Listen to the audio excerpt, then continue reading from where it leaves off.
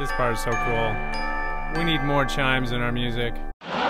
Hello and welcome back to the channel. I'm your host and megamind of the melodrama Ken Lavigne. I'm a singer and vocal coach here on YouTube, and today we are looking at Rush, Closer to the Heart. But before we do that, I'd just like to remind you all to please remember to hit that subscribe button and the notification bell so you don't miss out on any of the great stuff that we talk about on this channel every week.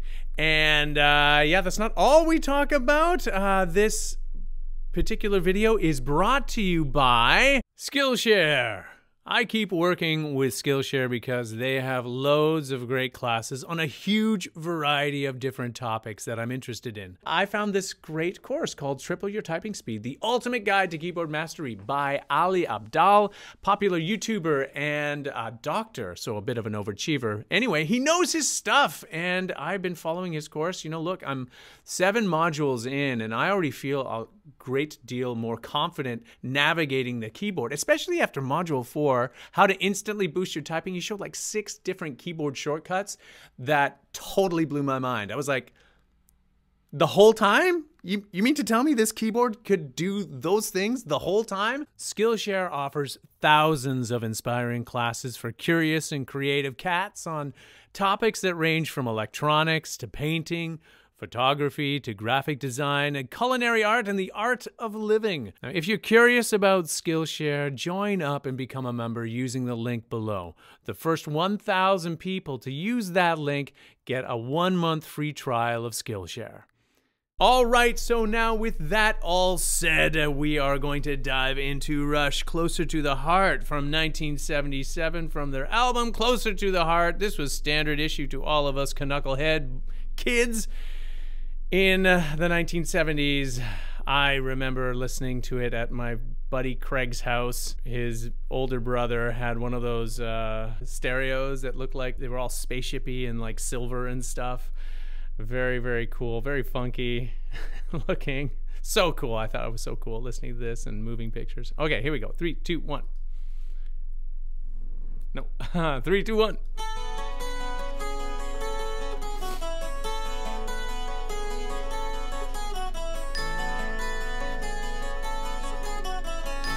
This video is from 1977.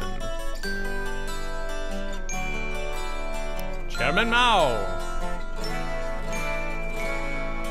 President? I don't know who that is. Jimmy Carter? And the men who hold high places must be the ones who start to mold a new Love that reality 12 string guitar.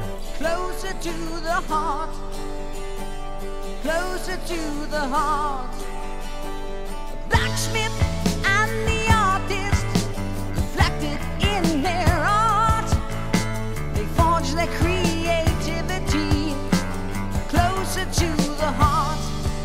Yes, closer to the heart. All right, so cool. Uh, he's singing a really hard vocal line there, beautifully melodic, totally in tune, and playing a killer bass line at the same time. Yeah, the man is legend. I'm talking about Geddy Lee. Okay. This part is so cool. We need more chimes in our music. Philosophers and plowmen each must know his part to sow a new mentality closer to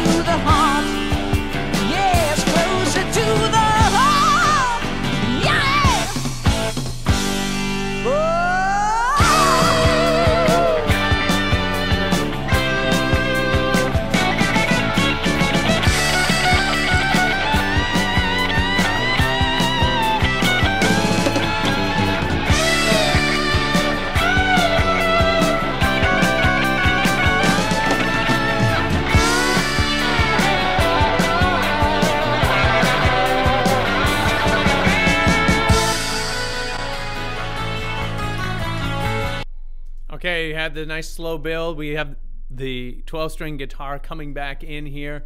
Uh, excellent, excellent. It's just so smooth and stylish guitar solo there. Uh, so much to comment on musically, though. This channel is mainly focused, obviously, on the vocals and Geddy Lee in particular. He had such or has rather such a unique voice to begin with pulling it apart and saying, okay, well, what is it that he's doing that's different from maybe all of the other vocalists of the same genre? He, because of the character and tone of his voice, that very high pitched clarion tone, almost like a, a tenorino or like male alto style voice, he's able to leverage that higher pit, the, the higher tessitura of his voice and be able to push it even higher in these rock ballads through something that he's doing that I I've been able to only glean recently as to how he's able to hit those pitches so effortlessly. And we'll talk a little bit more about that in a minute. I just want to hear us get back into the rest of the song.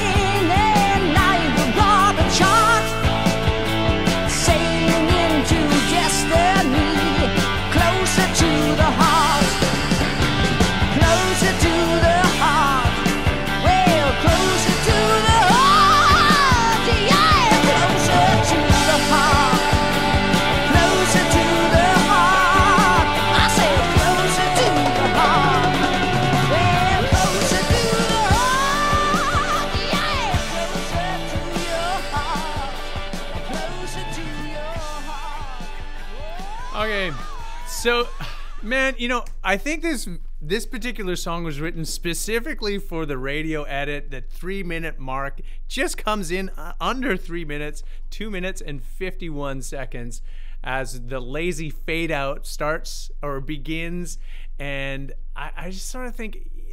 I, I was that's so unrushed like you would imagine that they could extend it out to five or six or seven minutes. Maybe that's what they did live, you know, a closer to the heart, um, epic, drawn out drum solos in the middle of the song, which would be so totally cool. I'd love to hear something like that. Alas. Um, anyway, uh, I just I just want to point out the the mystery of Geddy Lee's voice and how it actually does what that how it makes that sound how he's able to coax those particular sounds is using something called AES area aryepiglottic sphincter control or uh, what I often refer to on this channel as the pharyngeal voice. This is um, this is a high laryngeal position um, able to sort of free up a lot of the tension that sometimes is accompanied from your vestibular vocal folds. I uh, know a lot of technical stuff, but it's sort of it's a little bleaty and goat-like when you just sort of exhibit it raw. So it's sort of ah, ah closer to the heart, that kind of tone or tonality. Now I'm no Geddy Lee, obviously, but that's how he's able to get those tones as high as he can. And the benefit of utilizing that part of your voice or that ability of your voice to uh, have that higher laryngeal position is that it releases a lot of natural tension, uh, subglottal uh, breath pressure, tension, and of course any tension that might accrue as a result of using your vestibular vocal folds. Okay, science. It's beautiful, isn't it? Um, now I I recognize that like Rush isn't everyone's cup of tea, but I think they're amazing. And um, I would love to hear from you. Tell me your Rush stories, or maybe you're just discovering them for the first time. What are your impressions? Let me know your thoughts in the comment section down below. And hey, maybe you are a vocalist and or you're trying to figure out your own voice and maybe explore some of this great music for yourself. I strongly recommend you reach out to a competent vocal coach. There might be one living in your area. Best way to learn is one on one. However, times being what they are, it's not always possible. You can certainly reach out to one of us here in YouTubeville. Um, you don't have to work with me, but if you'd like to work with me, I'll be sure to leave my links down below in the description. And as always, please remember to hit the subscribe button, notification bell, uh, hit the thumbs up, do all the YouTubey things to help the channel out if you found any value in this video.